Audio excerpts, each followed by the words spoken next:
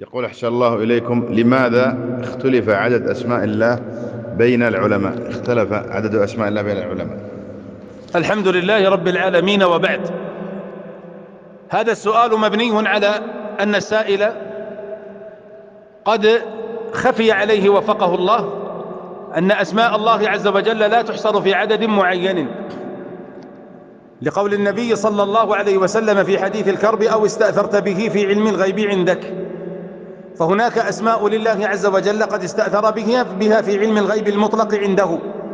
لا يعلمها أحد لا من الملائكة ولا من المرسلين والأنبياء فضلا عن الأولياء والصالحين.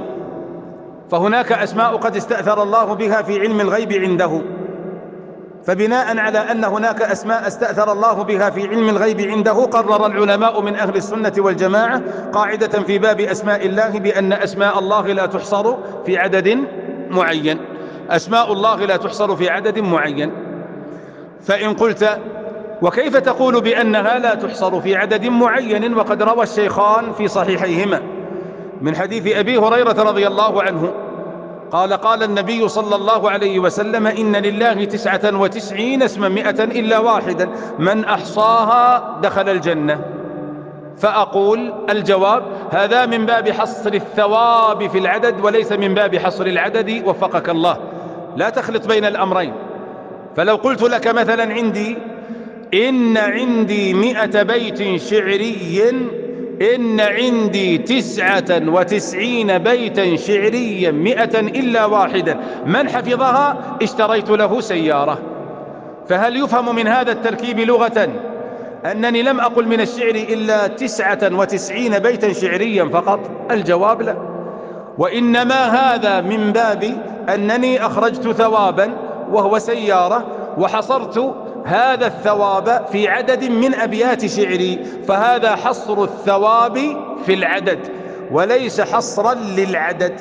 فقول النبي صلى الله عليه وسلم إن لله تسعة وتسعين اسما من أحصاها دخل الجنة يعني أن الله عز وجل لما خلق الجنة جعل لها طرقا ومن جملة طرقها أن تحصي إحصاء حفظ وإحصاء إيمان وإحصاء عمل بمقتض من أسماء الله عز وجل تسعة وتسعين. فأظن السائل يقول لما اختلف العلماء في عدد أسماء الله مع أن البخاري ومسلم رويا عن أبي هريرة عن النبي صلى الله عليه وسلم حديثا يصرح بأن لله تسعة وتسعين اسما فمع هذا التصريح التعييني الدقيق لهذا العدد فلما يختلف العلماء؟ فمنهم من يعدها كذا ومنهم من يعدها كذا ومنهم من يعدها كذا ومنهم من يعدها كذا. فهذا بناء على أنه حصر أسماء الله عز وجل في هذا العدد. ولعلي بينت له أن هذا من باب حصر الثواب في العدد وليس من باب حصر العدد. هذا أولا.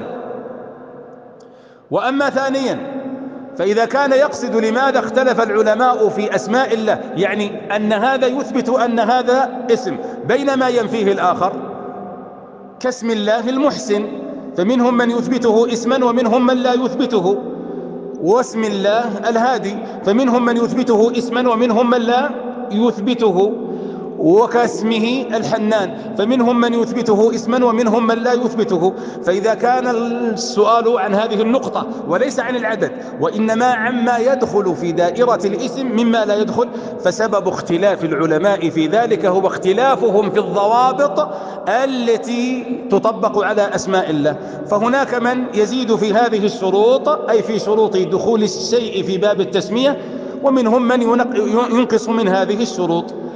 فمنهم مثلا من يشترط أن يكون الاسم معرفا بالألف واللام في الأدلة الشرعية ومنهم من لا يشترط ذلك.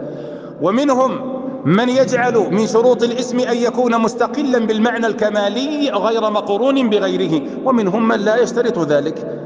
فالذي يشترط ذلك يقول بأن النافع ليس من أسماء الله إذ لا يكمل معناه الكمالي إلا باقتران اسم الضار. وكذلك المحيي ليس من أسماء الله إذ لا يكمل ذلك إلا إذا اقترن بمعنى المميت. فكل اسم لا يستقل بمعناه الكمالي فلا يعتبر من جملة الأسماء. بينما الفريق الآخر لا يشترطون ذلك ويقولون بل هو من جملة أسماء الله حتى وإن كان كماله متعلقا باسم آخر. فالنافع والضار من أسماء الله عند هؤلاء والمحيي والمميت من أسماء الله عند هؤلاء. أفهمت هذا؟ فلخلاف العلماء في قضية الاشتراط فيما يدخل في الإسمية مما لا يدخل يختلفون في هذه الأعداد. فبينت لك سؤالك على الجهتين. فإن كنت تقصد الأولى فقد تقدم جوابها وإن كنت تقصد الثانية فقد بينت سببها والله أعلم.